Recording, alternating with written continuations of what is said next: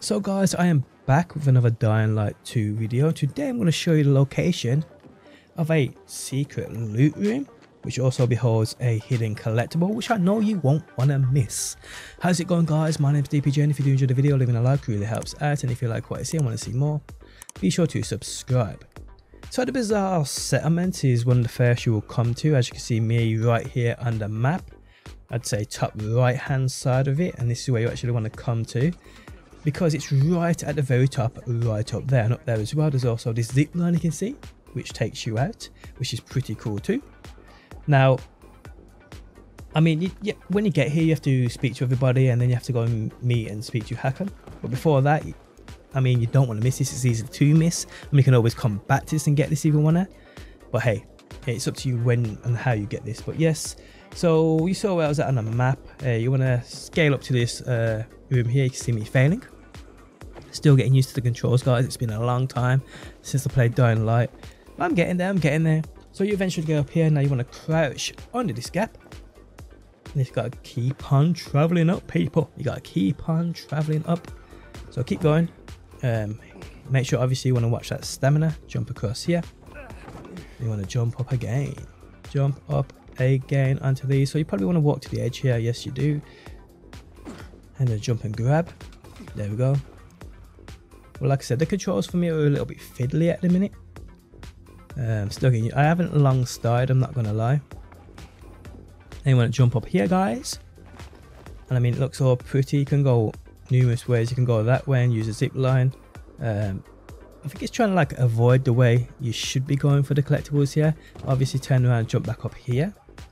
And you'll see, now you want to jump onto this ledge and be careful because if you fall down, you're done for. Let me tell you, you're definitely done for. So walk around this edge super careful. Keep super careful. Now you want to jump up on your right here. Pretty good view though, isn't it? Pretty good view. There we go. And there we go. Now in here, guys, you actually have to go up and the, the secret room is up here. And there's a bit of loot here. I mean, nothing spectacular. But I mean, it's all parts. It's all trading. Uh, there's a uh, a safe there which will crack as well because there's a little code there which I'll tell you the answer to if you're struggling uh, but you'll see the safe is right there uh, it's a three digit code you do need now the actual the riddle for this you'll see is right here on your right hand side and you can see it's right next to that poster. Right next to that poster. Grab these grab these contents first guys. Let's not forget nothing here. Okay so why is it not letting me pick up? Come on game. Come on game. There we go. What was going on there? So that's a save code artifact collectible as you see. Making sure there's nothing there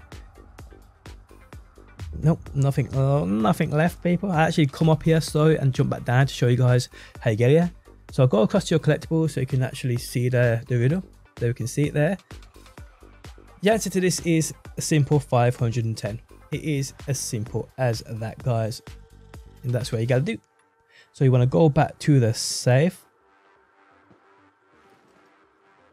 Um, and just write in five, first number and then 1 and then 0 and upon doing this the safe will open up for you. And within it we'll get Carl's journal a collectible a tape which is pretty good. Now I'll leave this to play if you do want to listen to it. That's completely up to you. But yes guys this is basically how you get the uh, uh, the Carl's journal artifact collectible. A little bit of stash as well and also I'll show you where you can go and use that zip line if you want to do that. That's completely up to you and where it takes you. Yeah, actually, you know what? This may be the way you may have to come. Uh, besides jumping up to this this this secret room. I'm not too sure. I just I just like to explore. I'm that kind of player. But yes, guys, I hope you enjoyed the video. And hopefully people, I will see you on that next one. There's a term for what came next. A crisis of faith. And with me, it started long before the epidemic. But when people started to turn into monsters, when city after city was eaten by darkness and poison, I started to wonder where is God? Is he putting us through a trial? Or has he abandoned us? When Black Monday came, I no longer had any doubts. There is no God. There never was. Because of the THV Genmont bombings, two million people lost their lives. The streets carpeted with human corpses. What God would allow that? He would have to be infinitely cruel. Of course, other so called men of the cloth offered nonsensical observations that this was the will of God, punishment for our wickedness, that Colonel Williams himself served as the hand of God. But that didn't matter anymore. The curtain had been torn off. People lost their faith. Because what were they supposed to believe in? No one wanted a god like that. And in that moment, to my own surprise, I felt free. As if I were a puppet who finally cut the strings that controlled him since birth. Free at last.